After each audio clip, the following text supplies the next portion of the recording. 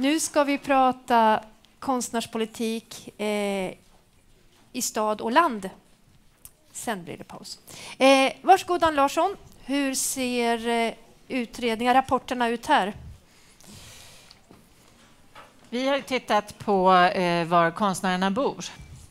Eh, och då är det ju så att vi tittar på var man är folkbokförd, eh, där man är skriven.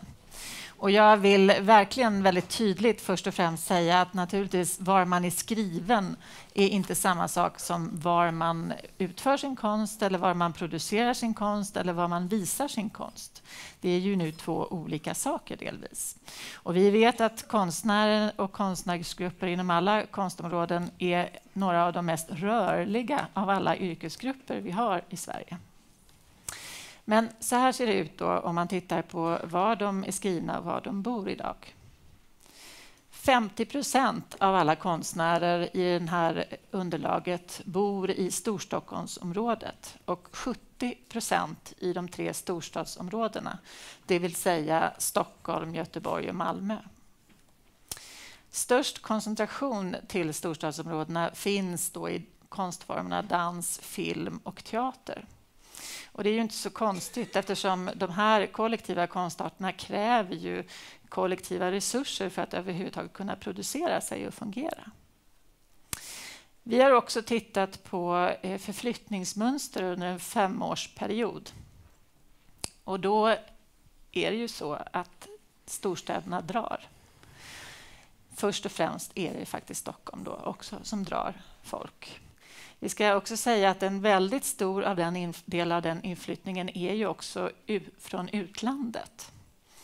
Eh, och det ser vi också i befolkningen i stort. Att storstäderna växer och en stor del av den tillväxten kommer ifrån att personer kommer ifrån utlandet. Inte att alla kommer ifrån landsbygden och att landsbygden egentligen avfolkas. Så ser inte mönstren ut. Men vi ser väldigt tydligt att konstnärerna är koncentrerade till de tre storstadsområdena.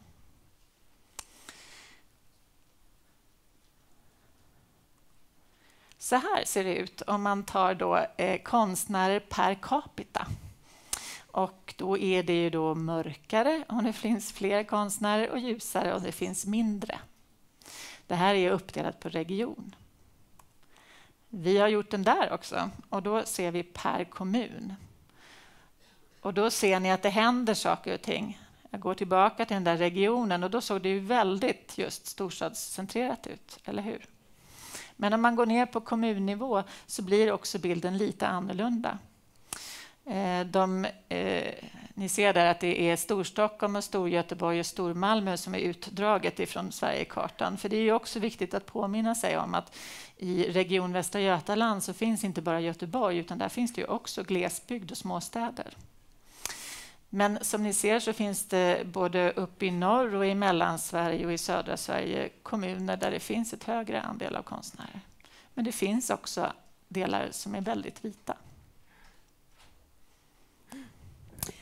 Tack så mycket, Ann. Nu ska vi ta tag i dessa fakta. Då säger jag välkommen upp på scenen Veronica Lampa Lundbro, Elisabeth Lax, Jörgen Lindvall och Jörgen Svensson har blivit hastigt sjuk. Eh, bildkonstnär, professor som har jobbat mycket med kulturpolitik. Han är tyvärr inte med i den här panelen. Men välkomna upp ni andra. Hej.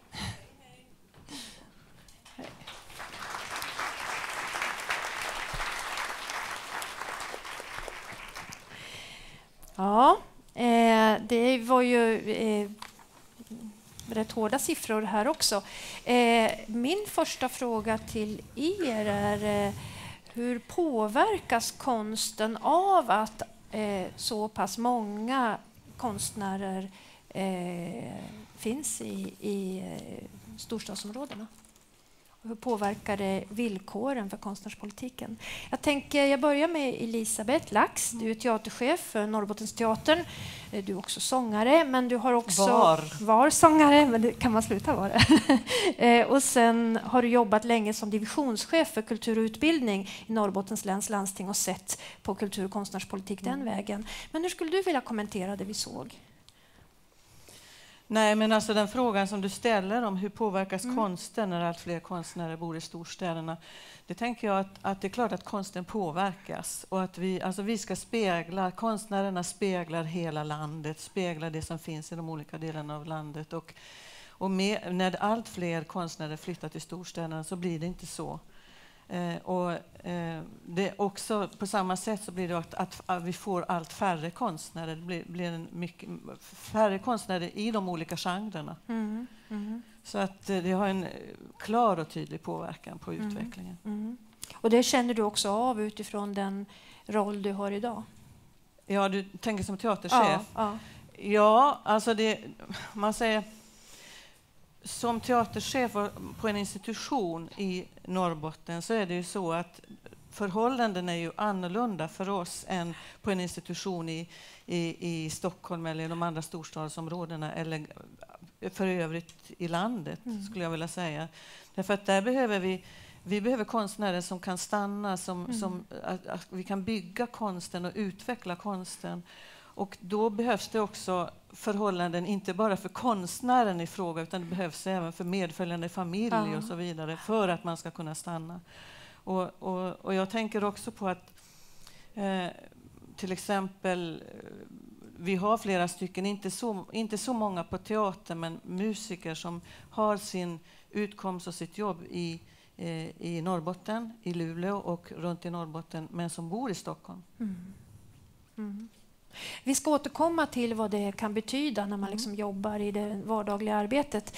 Eh, Veronica Lampa Lundbro, du representerar staten när det står mm. här. Enhetschef för scen, musik, bild och form på Kulturrådet, men du har också jobbat länge på Riksteatern och du har också arbetat som producent, så du kan de villkoren också. Mm. Hur tänker du kring den här första frågan? Hur mm. påverkas Jag är norrbottning också, ja. så jag, jag, är väldigt ja, det är kluven i detta. Det. Nej, men jag har brottats ganska mycket med den här frågan, därför att eh, idag jobbar jag på Kulturrådet Kulturrådet. Kulturrådet har eh, ansvar att fördela drygt 2,1 miljarder till kultur i hela landet. Vi har ett nationellt perspektiv. Mm. Även på Riksteatern så arbetade jag utifrån ett nationellt perspektiv. Eh, så att, sen kan jag se rent konkret att det är klart att förutsättningarna för att till exempel skapa dans är, är ovanligt gynnsamma i Stockholm. Vad betyder det för Stockholm som kommun och region och för stat att faktiskt beakta att, att väldigt mycket sker å ena sidan här produktionsmässigt och är väldigt kostnadsdrivande och hur arbetar man då ute i regionerna? Blir man mera konsument och mm. reaktiv mm. eller hur kan vi bidra till att skapa andra strukturer och förutsättningar ute i regionerna? Det, det är ju sånt som vi hela tiden mm. Eh, arbetar med från statens sida. Men jag, vänd, alltså, jag vrider och vänder mig lite i det som är begreppet storstadsnorm, för jag tänker att det inte heller är en sak. Jag tänker att det kanske är en sak när vi pratar här, en relativt homogen grupp som diskuterar eh, vad, vad, kan någon sorts elitkonst vara och sen så kliver man ut utanför dörren. Och där tror jag ju inte att det som vi betraktar som storstadsnorm skulle accepteras som storstadsnorm utan snarare ses kanske så, som nästan lite marginaliserat därför mm. att det är helt mm. andra typer av uttryck runt om i den här staden som istället regerar. Så jag tänker att det, det och att de, eh, den normen kanske beror mindre på geografi och på andra saker. Så att jag tänker att det, begreppet mm. blir för mig mm. väldigt komplext. Mm. mm. Men eh, du kan väl glänta lite på dörren till Kulturrådets eh, eh, liksom hantering av de här mm. frågorna. Eh, på Konstnärsnämnden så mäter vi hela tiden och tittar så att vi försöker liksom hitta hitta eh, eh, balanser här och vi jobbar mycket med residens ute i landet, internationella ja. residens. Man har många olika sorts verktyg för att arbeta med konstnärspolitik på ett nationellt plan. Eh, hur, hur, om du berättar för oss? Så gör ju vi. Vi fördelar ju medel dels inom ramen för det som är samverkansmodellen, alltså den mm. regionala eh, bidragsgivningen där Kulturrådet i dialog med samtliga Eh, mm. regionala företrädare efter granskning av kulturplaner säkerställer att medel kommer ut till hela landet. Mm. Å ena sidan, det är den stora bulken pengar på mm. 1,3 miljarder. Sen är det så att i alla bidrag som fördelas till det fria kulturlivet så gör vi en granskning. En, en granskning utifrån geografiska perspektiv, eh, könsfördelning, eh, mm. allting. Och det, mm. det, gör vi tillsammans med referensgrupper som är eh, utsedda bland annat med mm. geografisk hänsyn. Så att vi har referensgruppsledamöter eh, runt om hela landet för att kunna lyfta det, både för bevakning men också för att ta in den kompetensen och mm. kunskapen. Mm. Och sen synliggör vi detta eh, i både beredning och beslut. Mm. Så ja, vi har ju verkligen eh, det uppdraget. Eh, eh, Jörgen, Eh, du, har, eh, eh, du är kulturchef för Region Jönköping men du har också arbetat som regissör och du har varit institutionschef och har också många olika sorts ingångar i det här. Eh, vad är det egentligen som... Om du går bara rakt på kärnfrågan här, vad vill du säga oss då? Jag tycker inte att det är konstnärerna som driver den här myten om att det finns en skillnad mellan det urbana och det som vi då kallar lite vanvördigt för landsbygden. Alltså det som är utanför Stockholm, Göteborg Malmö, det är resten då, landsbygden. Ehm, utan det där drivs av de som inte har kunskapen, det vill säga kulturtjänstepersonerna och politiken som inte förstår vad det innebär att vara konstnär eh, och kanske då nappar på enskilda frågeställningar. Ta ett exempel.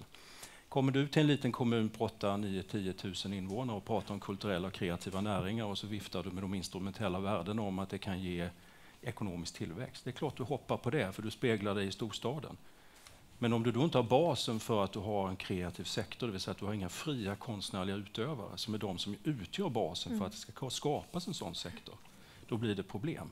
Så det är inte konsten i sig som skapar de här normbildningarna, utan jag tror att det är okunskapen och det är de som finns runt omkring mm. konstnärer som skapar detta. Mm. Och då är det bättre kanske att prata om, istället för kulturella kreativa näringar, och prata om mänsklig tillväxt istället, för det är ju mm. det som kanske är det mm. intressanta i det här mm. sammanhanget. Men tycker du att politiken erbjuder, vad ska jag säga, eh, de, de möjligheter som du skulle vilja se för konstnärligt fördjupande arbete, till exempel då i, i, i Jönköping? Skulle man kunna göra en infrastruktur som på ett annat sätt kunde koppla upp? Nej, men därvidlag är det ju ingen, därvidlag är det ingen skillnad så tillvida att det krävs mer, det krävs mer pang, pang in, in, med hjälp av nya pengar. så att säga. Mm. Det behövs ett inflöde av pengar för att också skapa de här förutsättningarna, men det krävs också ny kunskap. Och det är där jag ser att det kan finnas, som vill uttrycka sig, ett visst hot utifrån att man speglar sig alldeles för mycket i vad det är för diskussion som just nu är het mm. på tapeten i en mm. storstad och mm. kanske inte kan möta den riktigt. Men jag tar ett annat exempel mm. Avsen, där det faktiskt sker en skillnad idag. Och sen får jag väl inte hålla med mig, men för 20 år sedan vill jag påstå att var du fri konstnär, alltså bildkonstnär och jobbade med samtidskonst så gav du dig inte ut i landet för att jobba med sociala konstprojekt. Då hade du väldigt svårt att komma tillbaka till storstaden med någon form av heder. Idag har det vänt. Idag är ju de intressanta historierna i mångt och mycket för de som vill jobba med samtidskonst utifrån det, det sociala. Det finns ute i landet i övrigt. Varför där, var det så svårt då, på den tiden? Vad var det som hände när man kom tillbaka? Blev nej, man liksom mobbad då? Nej, men där, därvidlag tror jag att det fanns väldigt mycket av en, en uh, frågan om att även kulturen har ju sina klusterbildningar, sina mm. nätverk, mm. som man, man, man speglar sig ju själv. Men idag tror jag att världen för enskilda konstnärer också har vuxit, också nationellt. Och det, det tror jag till viss del den nyvunna politiska medvetenheten, en statlig kulturpolitik som tar en annan riktning, har skapat mm. Mm. till vissa delar. Mm. Elisabeth, du eh, började anteckna här när du hörde. Så ja, jag, ja. jag tänkte på det här med, du hänvisar till Jönköping, men jag tänker på som på Norrbotten och den utveckling som har varit. Um, och att det blir också väldigt tydligt då om kulturen ska ha en position och en, en status och en utvecklingsmöjlighet. Va? Dels så eh, vi har varit lite inne på det här med kultursamverkansmodellen och mm. eh, dess betydelse som har varit... Vi, har, vi hade ju eh, turen och, och, och, glädjen kan jag säga att vara en av de fem pilotregionerna med kultursamverkansmodellen och fick alltså prövas på ett tidigt stadium i att både skriva plan och att ha de här dialogerna med kommuner och så vidare. Och att det har betytt en hel del för oss i mm. utvecklingen. Eh, men samtidigt så är det också så att i eh, vi ser ju att de statliga medlen har ju inte räknats upp och det har haft betydelse för hur ska vi kunna utveckla framförallt våra institutioner. Då. Mm. Eh, och, och, och, det ligger kvar, mm. det behovet. Men sen är det också det att den regionala finansieringen för utvecklingen av kulturen och, och då inte bara för institutionerna utan även det fria kulturlivet den är ju väldigt, alltså konstnärerna är ju väldigt beroende utav detta stöd. Och, och man kan säga, um, jag tänkte på vad Lisa Olin sa här nyss om det här med starka politiker som tar ställning för mm. kulturen. Mm. Det, det, är avgörande och det, blir, och det, har också blivit väldigt tydligt med kultursamverkansmodellen och mm. jobbet som vi har mm. och gör och har gjort. Om vi bara dröjer lite vid kultursamverkansmodellen som ju, ju, hanterar många av de här frågorna hela tiden och där du ju har då suttit på olika stolar. Eh, hur skulle du vilja säga att de här frågorna har utvecklats, de konstnärspolitiska frågorna i de här förhandlingarna? Får de den plats som de egentligen också skulle kunna ha? Jag tyckte i början tycker jag att det var mera eh, ja, det var, det var inte så medvetna dialoger som vi hade, som till exempel ja, med olika konstnärer och, och konstnärsgrupperingar. Men så småningom så blir det ju en fråga om hur utvecklar vi själva konsten här ja. och, och, inom olika genrer. Och, eh, eh den har det, har, alltså, det har skapats en större medvetenhet kring man säger, konstpolitik än vad vi hade. Mm. För du pratade om det fjärde målet. Ja. ja. Um, och för oss blev det också, det blev ju så här, men det, vi, vi skapade ett fjärde mål i vår kulturplan därför att eh, det finns, eh, när hälso och sjukvården ställs i relation till mm. kulturen så förlorar kulturen för det mesta. Och, eh, och då blev det så att, att vi har ju inte så många utövande, heltidsutövande konstnärer i Norrbotten. Och för att eh, stötta stötta eh, utvecklingen av, av förnya konstnärer och för att verkligen lyfta fram eh, behovet av både kompetensutveckling och rätten till att vara professionell utövare så, så skrevs det här fjärde målet in om att eh, mm. stötta den kvalitativa utvecklingen av konsten och att alla eh, delar i länet ska få del av denna konst. Mm. Mm. Är det bara ni som har gjort det eller är det flera? Nej, det vet, jag vet inte hur det, det har varit. Det är flera som har gjort ja. Absolut. Mm. Tack. Eh, Veronica? Men jag tänker om man ska dröja vid, vid samverkansmodellen så skulle jag säga att utifrån ett nationellt perspektiv så har det ju verkligen bidragit till att synliggöra kulturpolitiken på regional nivå, men även eh, konstnärernas förutsättningar. Och där har ju, Konstnärsnämnden är ju eh, en del i det samverkansrådet och finns ju konsekvent med att bevaka mm. den frågan och har ju mm. också, vad jag förstår, själva synliggjort att, eh, att i och med modellen så lyfts frågan på regional Precis. nivå. Men jag tänkte, det du sa lite grann om att, att politiker och tjänstemän sneglar till storstäderna. Jag tänker också att modellen har ju skapat eh, mötesplatser mellan regioner som jag tänker att helt plötsligt så kanske man kan spegla sig snarare i varandra och att eh, hela den här processen bidrar mm. till ett, en annan typ av kunskapsutbyte. Och där har ju också Kulturrådet särskilt lagt pengar för att eh, ha mera horisontella mm. utbyten i, utvecklingsbidrag och så vidare så att man ska snegla åt lite andra håll. Sen kan jag nämna att när jag själv jobbade på Riksteatern så var en av de, de sakerna jag gjorde var att, att säkerställa eh, den kulturpolitiska kompetensen mm. i de regionala föreningarna och i dialog med regionala företrädare. Mm. Och det fanns ju initialt en stor önskan om att bestämma själv, mm. Eh, om man ville prova själv första gången. Men att det där ser jag förändras därför att man, man behöver andra och man behöver andras erfarenheter. Alltså jag tror inte den, den, eh, regionala nivån är kanske problemet i detta, därför där har det hänt så pass mycket. Det tas ett stort ansvar utifrån regionen, utan det är snarare hur kunskapsspridningen ser ut nere på kommunal ja. nivå.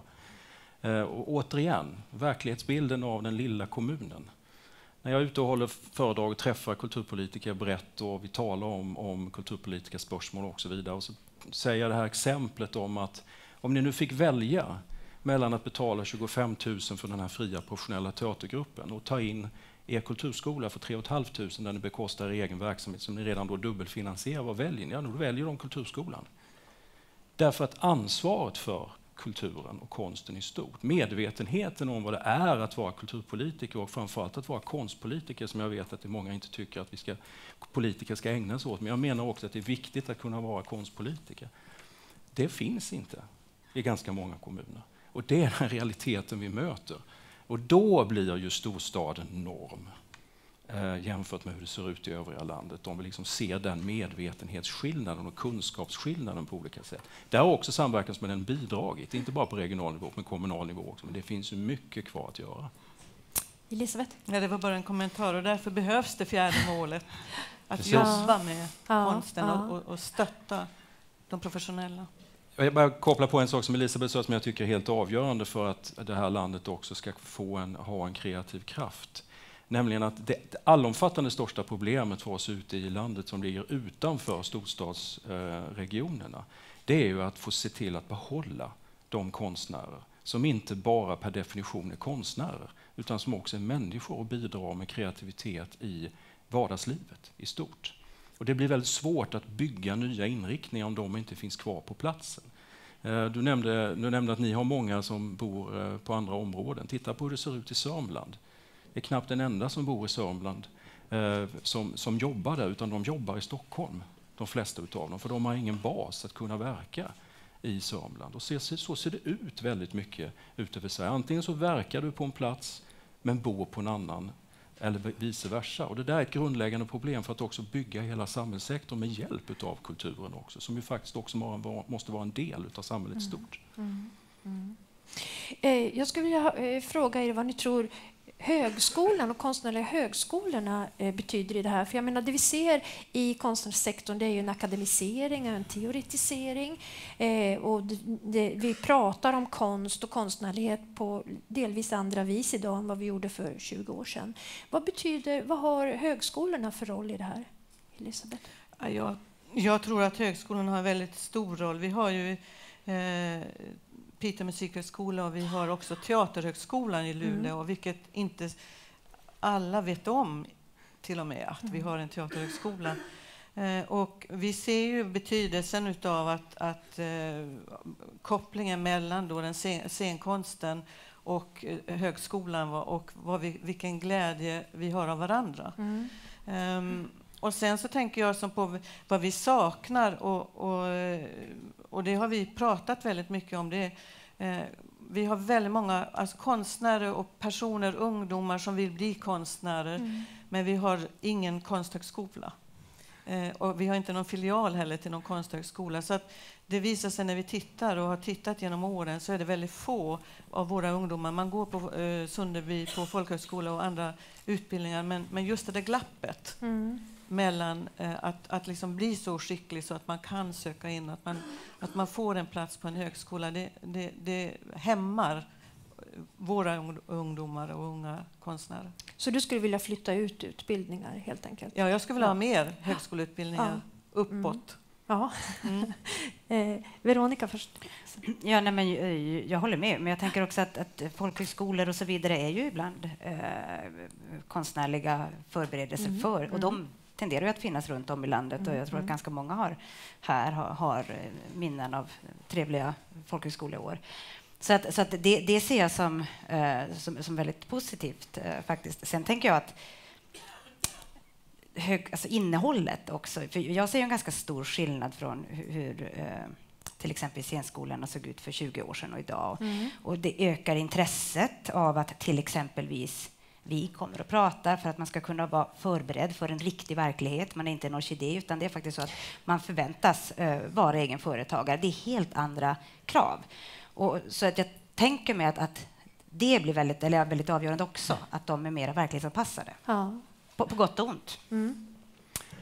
Alltså jag tror i likhet med er att det skulle vara väldigt bra om det fanns en möjlighet att flytta ut viss verksamhet ifrån de konstnärliga högskolorna som ser ut idag. Men jag är direkt emot att etablera nya ute i landet, för marknaden är mättad. Uh, där tror jag inte att vi ska ge oss in i att bara för att vi ska skapa någon slags regionalpolitisk effekt bygga konstnärliga högskolor för att vi, och bygga nya monument.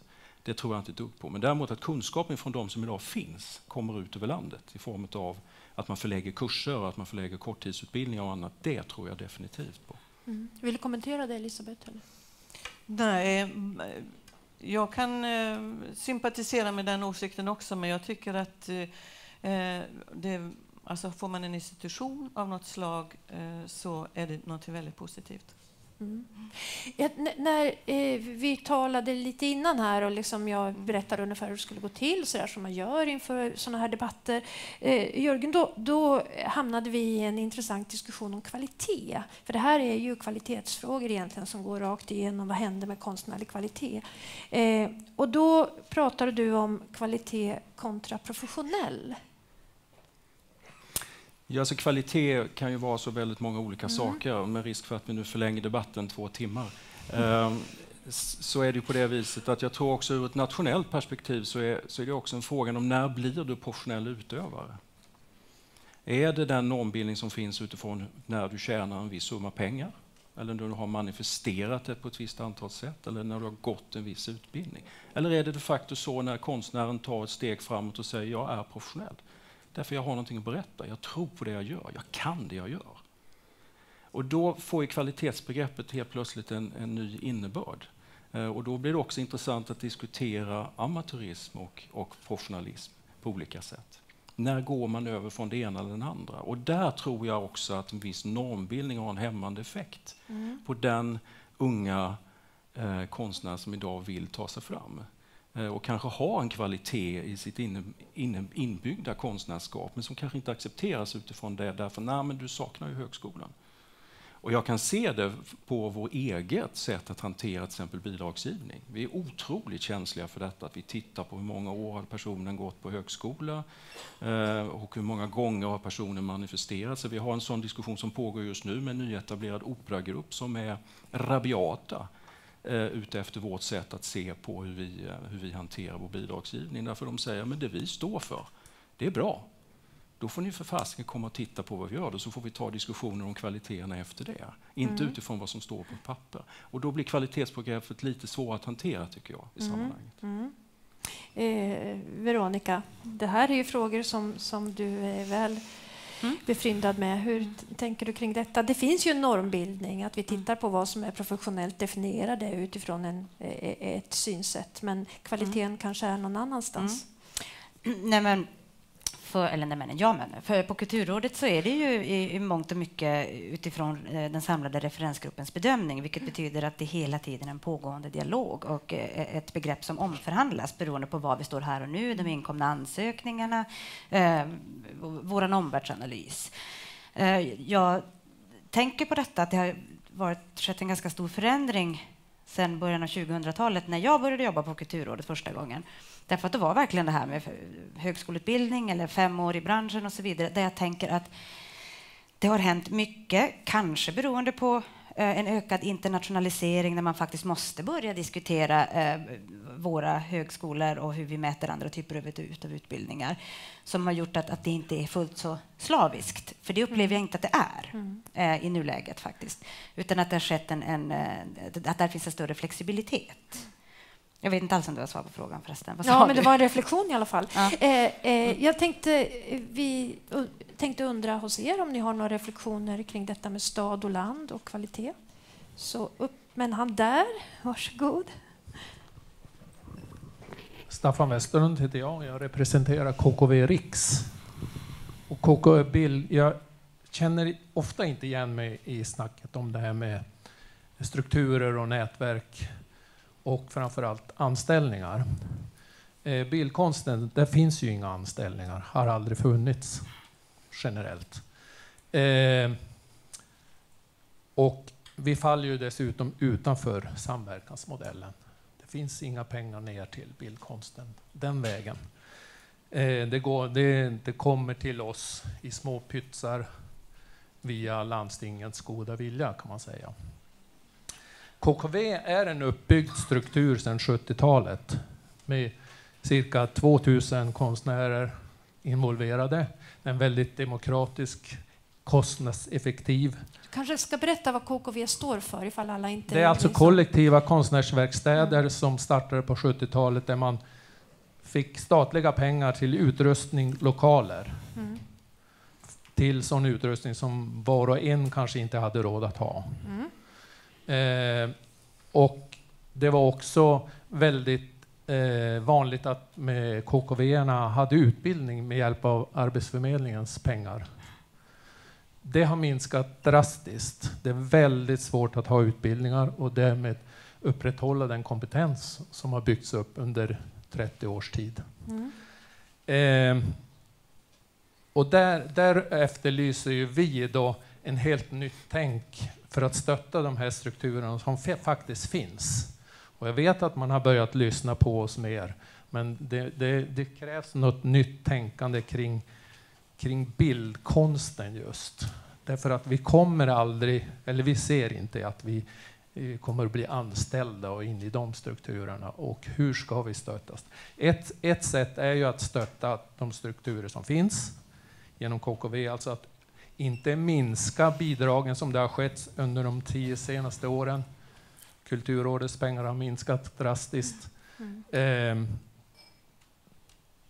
du vill skicka in den nu? Ja, jag vill skicka in den frågan. Hur ska vi kunna få tillbaka de stödformer ja. som finns och kanske utöka dem? Ett annat stöd som vi skulle vilja se är att vi skulle kunna söka verksamhetsstöd från staten.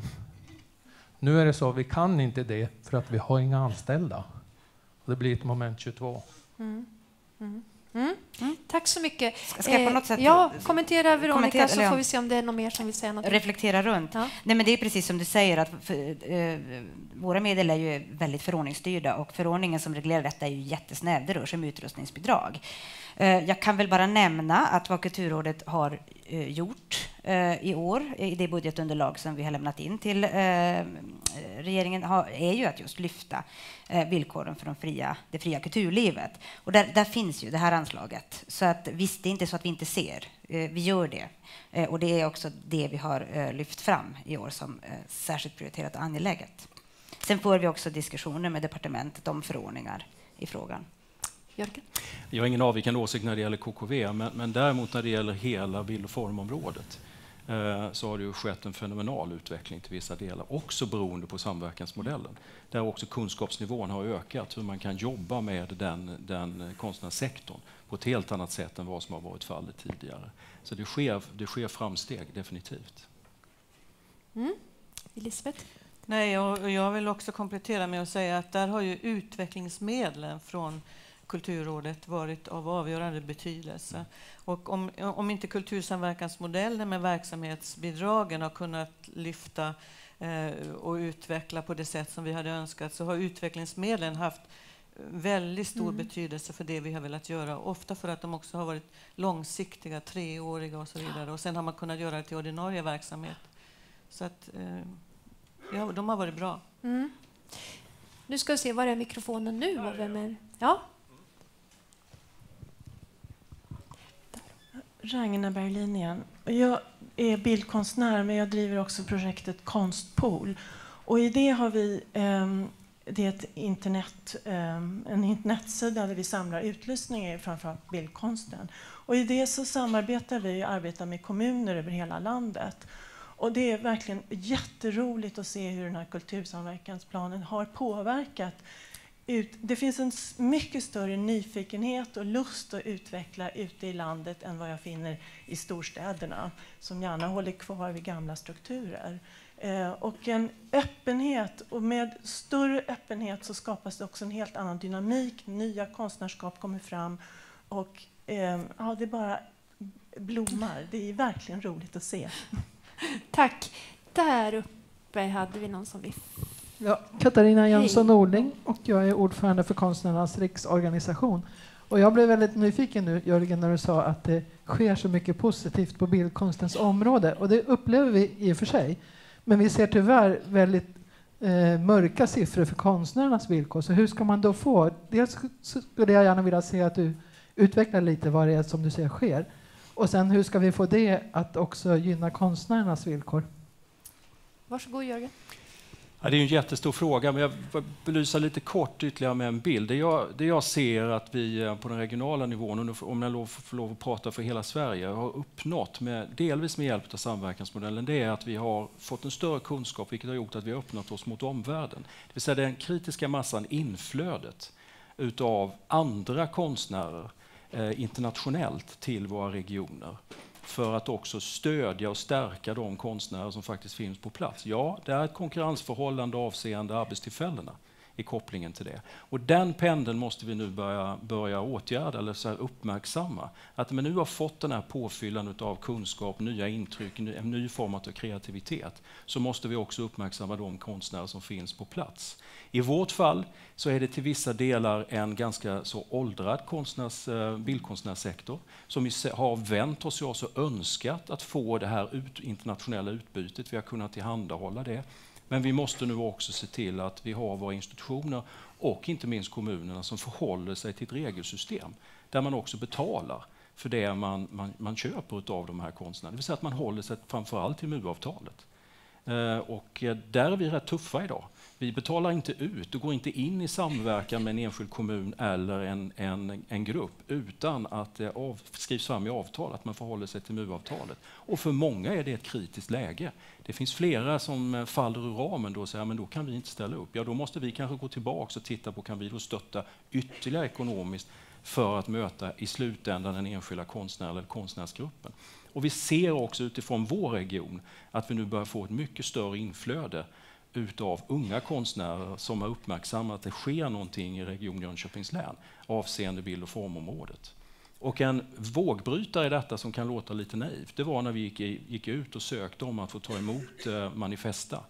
Eh, den stora, en av de största nomadiska konstbiennalerna i världen. För att vi ville få igång en större rörelse inom bild och formområdet just i vår region. Och det var en vågbrytare och sen har det kommit på en massa olika frågeställningar runt det här som vi nu också försöker hantera till förmån för är slutgiltigt den enskilda konstnären. För som jag sa innan, får vi inte behålla dem, finns de inte kvar, så utgör de inte en del i samhällsbygget. Tack. Eh, vi hinner med en fråga till, sen ska jag kolla om ni vill ha en slutreplik. Här, varsågod. Tack så mycket. Dorin Elmark här igen. Tänkte tänkte bara tacka för den här, ehm, eh, att ni tog upp den här med amatörism eh, kontra versus professionalism och för, eh, förorten eller övriga landet mot Stockholm. För det är ofta så, alltså man har en tendens att tro att det som kommer från Stockholm ska vara bättre kvalitet. Det som kommer från London har bättre kvalitet, det som kommer från New York har bättre kvalitet. Det finns en, och jag är väldigt glad att ni tar upp den här. Att ni tar upp den här också, den här med folk som inte gått någon utbildning, kan de stå för kvalitet? Kan de skapa kvalitet? Det är jättefint. För det var så jag kom in i Sveriges eh, kan man säga, konstliv. Jag fick ställa ut på gallerier där kanske inte ens folk som gått på högskolorna får ställa ut, innan jag hade redan börjat på Konstfack. Så det är väldigt viktigt att de här människorna som kommer utifrån, från förorten, från utlandet, får en chans eh, eh, på institutionerna, på de här privata gallerierna som kanske inte finns så många på, på landsbygden. Det skulle kanske behövas mer av privata också gallerier som eh, Magnus Carlsson här i Stockholm, han startade i Västerås en gång i tiden.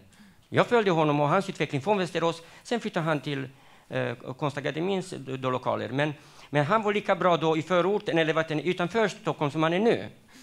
Så om man, om man har en känsla av kvalitet, då vågar man satsa på de här ungdomarna, på de här unga konstnärerna redan eh, och oavsett om de bor i förorten eller i, i, i, på landsbygden eller vad det nu, nu heter. Så det, är viktigt också att, att de här som bestämmer, som ni tar upp här, eh, har själva den här förmågan att förstå och acceptera att kvalitet kan finnas var som helst. Och det är det jag brukar jämföra med kärleken. Alltså, om du ska bli älskad så måste du ha en professionell älskare eller räcker det med någon som är amatör? Alltså, det vill säga någon som gör det för kärleken bara. Så det får du fundera på när det handlar om kultur och konst. Vill du, who wants to be professionally loved? Okej, okay, tack så mycket. Tack. Ha det som fin dag. Hej då! Kan ni ta en slutreplik på det där så börjar med Elisabeth. Ja, alltså jag skulle vilja säga att um, det är så uppenbart att vi har så olika villkor för konsten uh, i olika delar av landet. Och jag tror att det behövs en stor lyhördhet för de här olika villkoren som, som, som råder och där har också de här, som du var inne på, referensgruppernas sammansättning mm. väldigt stor betydelse. Mm. Att, de också, att det finns personer från hela Sverige eh, när bidrag ska delas ut och så vidare. Och sen så en annan sak som jag också tänkte på eh, inför det här seminariet, så när man läser den landsbygds, eh, det här betänkandet från landsbygdsutredningen så låter det som man avfärdar lite den här kultursamverkansmodellen. Mm. Eh, och att det ska komma att det, liksom, ny svensk offentlig kulturpolitik ska till här. Eh, men låt kultursamverkansmodellen få sin, sina möjligheter innan mm. man, eh, nu när man går vidare. Du tänker på Landsbygdskommitténs ja. förslag ja, där som bland annat vill att Kulturrådet och Myndigheten för kulturanalys yes. ska titta på... Ja, just ja. det. Mm. Och ja, att, det, att man liksom jobbar ut den här, för det är trots allt ny offentlig kulturpolitik mm. mm som vi mm. har för, i, att man säger när den kom, 20, vad det var, 2011, 2010, mm, 2011. Mm, um, och sen också alltså, att, att, vara rädd om de här konstnärerna som, alltså, och stötta dem som vi har, till exempel hos oss långt uppe i norr. Därför att det är fantastisk rikedom och, och det, som, det som produceras och det som görs där. Eh, och att, liksom hela landet ska kunna ha del av det som vi också förmedlar. Mm. Mm. Ehm, det vore mm. hemskt ju om det, om liksom det blev en utarmning mm. av konsten. Då blir det korra bara utav detta. Veronica? Mm, jag tänker lite grann det du säger. Jag tror faktiskt inte att, att uh, entusiasm fullt ut uh, väger upp konstnärlig kvalitet uh, och, och lång erfarenhet och utbildning, men i viss del. Men det, något jag tänkt, jag tänkt ganska mycket på när jag jobbat på eh, Riksteatern har varit det faktum att de lokala arrangörer som jag träffar, de eldsjälar på vilka eh, faktiskt mötet med publiken beror, de har en ofantlig kunskap om konstnärlig kvalitet. De kan göra urval som, som är helt otroliga. Eh, när de fullt ut inte gör det så beror det inte på att de inte vill eller kan eller så. Det beror på att de har inte råd. Mm. Man har inte råd att köpa eh, något som man, man, gissar eller chansar med, utan man måste säkerställa att det är en succé, för man har en chans mm. som en arrangör. Mm. Man har en mm. chans att få den här föreställningen och då måste man lyckas. Då måste man säkerställa. Mm. Eh, vad jag kan se är att med långsiktiga möjligheter att jobba med publik så, så blir ju eh, så kan man ju göra större chansningar och hitta, hitta andra typer mm. av publikgrupper. Men så som det ser ut för det lokala arrangörslivet och föreningslivet så, så är det ganska tufft. Så att eh, kopplat till det som du pratar om kommunerna så är det, det är väl en, mm. det är väl ett utvecklingsområde. Mm, definitivt. Mm. Tack. Jörgen, sista ordet. Amatörkärlek räcker långt. Det var väl min reaktion på det. Men, men, men jag, jag känner också att eh, det finns enorma utmaningar och jag tror inte att de alltid är så pol polemiserande så att det handlar om stad och landsbygd. Eh, det som däremot är en stor utmaning för, för övriga Sverige som ligger utanför där det finns kluster av mötesplatser för kulturen, det är just att de här mötesplatserna finns. Oavsett om det är institutioner eller fria grupper eller vad det nu kan vara för någonting. Där har vi en jätteviktig roll att spela och där är det det vi ska använda det kulturpolitiska instrumentet till. Det är ju det som på något sätt är nationell kulturpolitik. Tack så mycket. Stort tack till er i panelen och tack till er.